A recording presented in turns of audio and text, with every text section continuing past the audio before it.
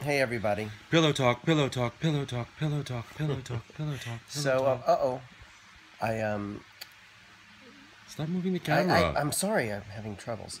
Um, we had a flood in our storage unit, which is I know a first world problem, but it was quite dramatic.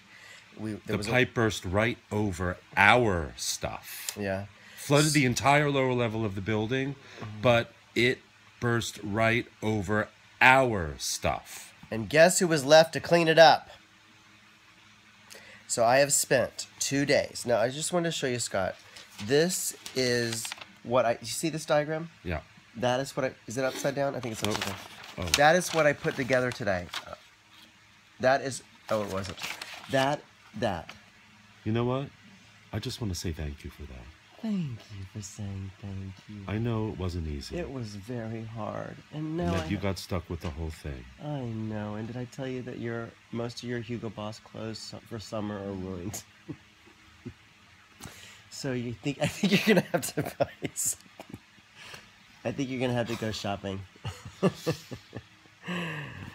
so anyway, I don't know if anybody else has tried to put together something that is complicated, like from IKEA, but it can make you lose your religion.